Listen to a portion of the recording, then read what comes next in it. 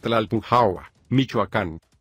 Una serie de balaceras se registraron la tarde de este martes, dejando como saldo tres fallecidos, entre ellos una oficial y dos de sus compañeros lesionados.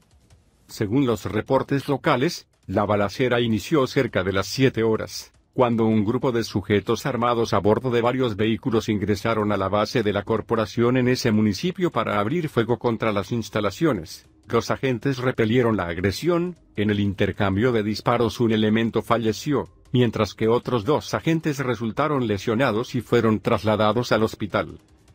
Asimismo, en la refriega un taxista falleció al quedar en medio del fuego cruzado. Las instalaciones de tránsito presentaron múltiples impactos de bala, así como una patrulla, un taxi y otros vehículos que estaban estacionados en la zona. Tras la agresión, los sujetos armados se dieron a la fuga, según se aprecia en un video grabado por medios de comunicación locales, muestran a por lo menos dos camionetas pick-up con la caja repleta de sujetos armados. Las unidades arrancaban entre gritos y festejos. Hasta el momento se desconoce el motivo de este evento y la identidad de los responsables, ya que lograron huir de la zona con rumbo desconocido.